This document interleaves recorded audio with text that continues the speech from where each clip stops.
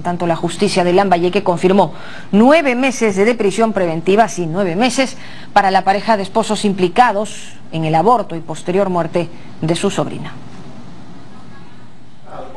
La Corte Superior de Justicia de Lambayeque confirmó el fallo de prisión preventiva por nueve meses contra Luz Berta Criollo Yaxahuanga y su esposo Nicanor Núñez Reyes, ambos investigados tras la muerte por aborto de su sobrina de 11 años. La pareja continuará recluida en el establecimiento penitenciario de Chiclayo, mientras se desarrollan las investigaciones por los delitos de aborto sin consentimiento agravado, violación y exposición al peligro en agravio de la menor fallecida.